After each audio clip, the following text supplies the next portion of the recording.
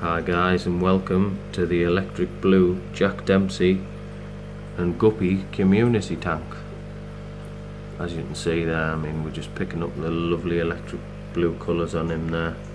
It's going to be a fantastic fish when he's older, if we can get him there. Obviously it's quite common knowledge that the electric blue Jack Dempseys are not as hardy as the common strain.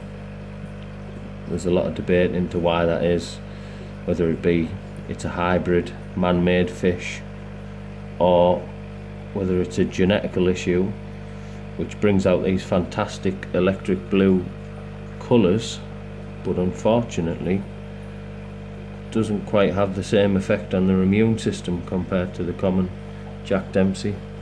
But as you can see he's lovely and colourful. I mean he even stands out in this guppy tank and there's some lovely colours on these guys just done a water change on this tank as well. So can really pick up their colours. I normally have this plant that's in pushed to the back at the moment a little bit further forward but the guppies generally swim in and around and behind that. So I've just pushed it back for you guys so you can see the coloration on these. Obviously males and your females tell the difference. There's your female, there's your males.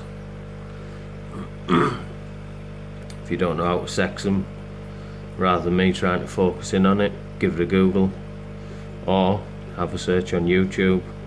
There'll be lots of uh, videos on there of people with guppy fish in their hands pointing at fins and bellies and everything else. I'm just here for you to enjoy the fish, enjoy viewing them. I'm giving you a little bit of insight into my tanks. I'll keep this tank, I don't know if we'll be able to pick that up. It might pick it up. There we go. Keep this as about 27, 28. I like to keep it up at that because a lot of parasites in the water I got this from tip from a friend. You keep it at 28 degrees. Their life cycles are a lot shorter, and I've never had any issues with ick, fung fungus infections, fin rot, nothing of that kind with these guys. Obviously, I do medicate when I first buy a fish. That was the whole idea in actually this four bay tank. I was always going to keep that one there as a quarantine system but obviously we've got the baby guppies in there for now and we're pretty well stocked on fish. So yeah beautiful little guy. Really colourful. Probably my partner's favourite fish. Did buy him with another electric blue Jack Dempsey but unfortunately he died.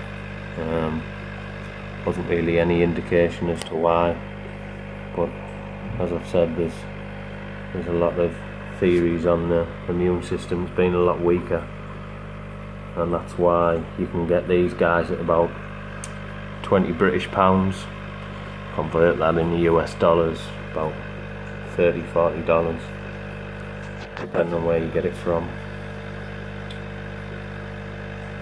but I mean if you get an adult you can be talking 150 200 pound a pair. I know there's a local fish store nearby that has an adult pair in for 150 pounds. All depends on what you're after. I prefer to grow fish out from young.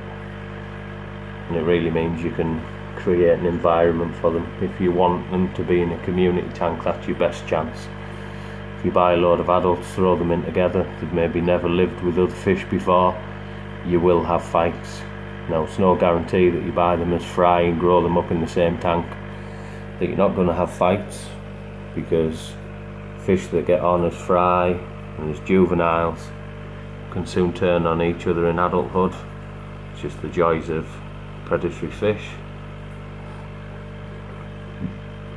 I mean, you look at these guppies lovely coloration I mean there's a nice big fat pregnant female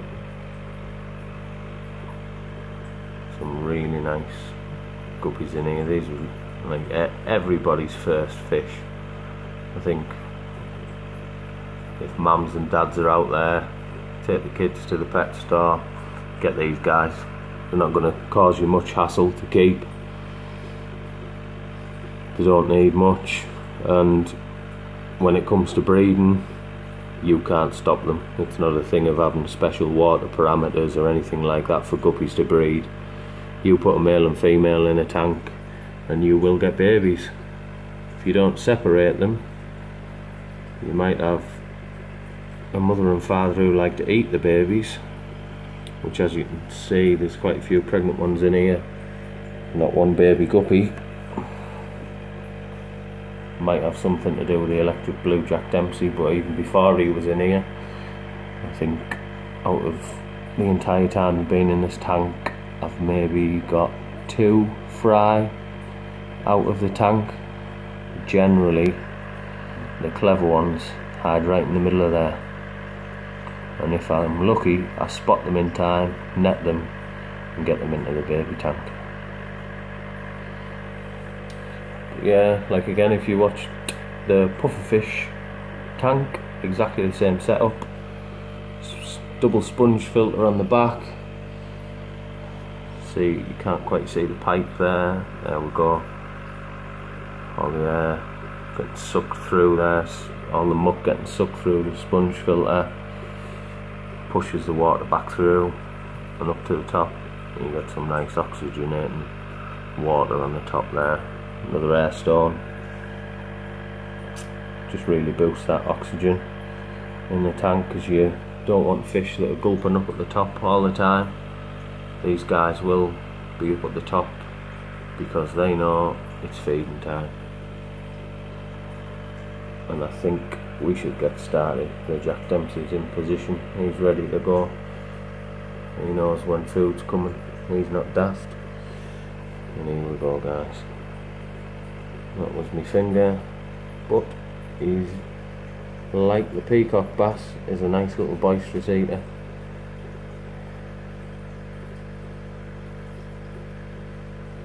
And the one thing you will find about guppies if you keep them in a tank with a semi-aggressive tank mate you don't want to be putting them in there with a really aggressive tank mate and obviously one that'll outgrow them. But they are good feeders they won't be bothered about getting stuck in to get some food. They won't let that Jack Dempsey bully them away from food. They will keep going and going and going until they feed. Yeah, that is the electric blue Jack Dempsey and Guppy tank I can get a nice close-up shot of him.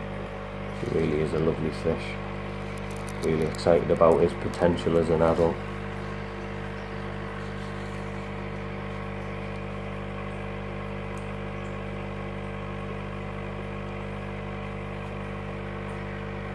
So yeah guys, if you like this video, obviously now, I said in my previous video, the next tank would be the predatory tank. The next tank video you will see will definitely be the predatory tank. I'll probably film that straight after this one. So if you're watching this and it says it was brought out on the 30th of January and you're watching it on the 30th by the 31st that predatory tank will be online. So if you click on the channel link page or subscribe you'll get an update for that and you'll see that right at the top of the uploads. Alright then guys. Thanks for watching. As always subscribe give it a like. If you enjoyed it give me a comment. Ask me some questions if you want to want anything explaining. Want, want me to show you anything? Got any ideas for future videos?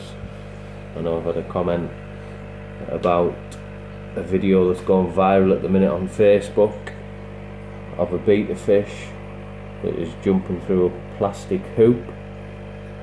I think if any tank's going to do that, it's probably going to be this tank. I might try it, see what they do. It might be a massive fail, but I'm willing to try it with these guys. So I think it'll be interesting. And if that's what you guys want to see, that's what I'll get for you. Alright, thanks very much, and see you next time.